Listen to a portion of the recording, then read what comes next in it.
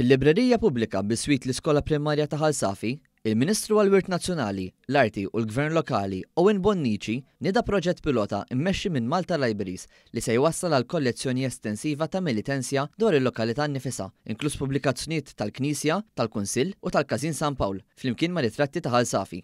Għaldaqstant, din il-librerija hija l-ewwel minn 57 librerija f'Malta u Għawdex li se tinkludi Melitensja bil-għan li jkompli jissaħħaħ l-irwol tal-libreriji u l-librara fil-komunitajiet. Fil-fatt, il-Librar Nazzjonali u Kap Eżekuttiv ta' Malta Libraries, Cheryl Falzon, tenniet li dan il-proġett ser ikun qiegħed jinfirex ma' lokalitajiet differenti u li għalhekk dak f'Ħal Safi ser jservi ta' mudell għal-lokalitajiet l-oħra. B'hekk, Il-libreriji tal-lokal ser isiru sors importanti fejn tidħol riċerka fuq bażi lokali għal riċerkaturi ta' kull livell u repożitorji li fihom jinżamm il-materjal komplut ta' riċerka dwar il-komunità nnifisha. Is-Sindku ta' Ħal Safi, Johann Mula, saħaq li jinsab onorat li l-lokalità ta' Ħal Safi ġiet magħżula bħala l-ewwel librerija li tgawdi minn dan il-proġett pilota. Aħna fil-fatt onorati immens li l-lokalità tagħna ġiet magħżula u fil-fatt ġejna avviċinati mill-Malta Libraries b'inizjattiva illi fil-librerija tagħna jkollna s-sezzjoni tal-Militenzja.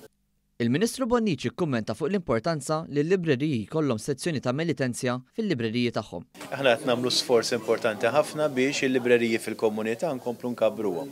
Il-libreriji fil-komunità għandhom rwol importanti ħafna għaliex iservu wkoll bħala hub kulturali u hub fejn iż-żgħażagħ u t-tfal u l-adolexxenti jkunu jistgħu jmorru u jkomplu jkabbru l-esperjenzi tagħhom. Bdejna minn Ħal Safi bil-għan li dan li qed nagħmlu hawnhekk f'Ħal Safi jkompli jinxtered fil-libreriji tal-komunitajiet kollha li għandna f'pajjiżna. Komunitajiet b'saħħithom huma wkoll komunitajiet li jkunu viċin il-kotba, l-letteratura u l-qari. Hu tenna bl-appell li t-tfal u l-adulti jissiebħu fil-librerija tal-lokal tagħhom sabiex jagħmlu użu mill-faċilitajiet tal-libreriji u jżidu fl-għarfien tagħhom. Preżenti għal din il-konferenza ta' aħbarijiet kien hemm ukoll kollaboraturi mir-reġjun, mill-parroċċa u mill-każini, kif ukoll awturi tal-lokal li kollha offrew il-pubblikazzjonijiet tagħhom għal dan il-proġett. Dan il-proġett pilota tnieda fil-ġimgħa ta' attivitajiet f'lokalitajiet differenti organizzati minn Malta Libraries, fil-Ġimgħa tal-Libreriji, il-Jum Dinji tal-Ktieb u l-Jeddijiet tal-Awturi.